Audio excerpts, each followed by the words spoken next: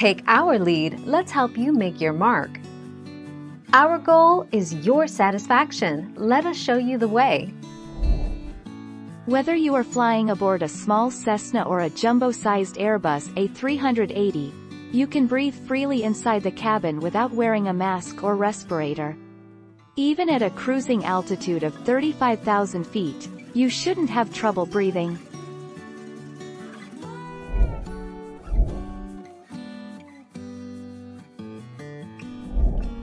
Take our lead. Chance of survival is almost rare. It's very likely that the brain will be alive for the entire duration as it only takes 4 minutes to fall 35,000 feet. Losing consciousness is certain within 30 seconds, maybe less, due to the stress of the event and not enough oxygen in the air at that height.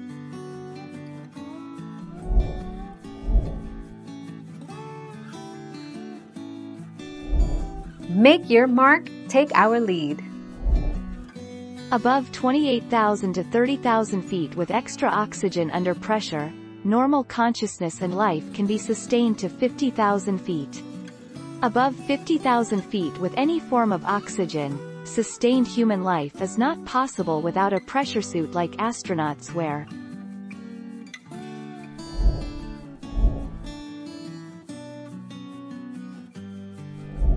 Make your mark, take our lead.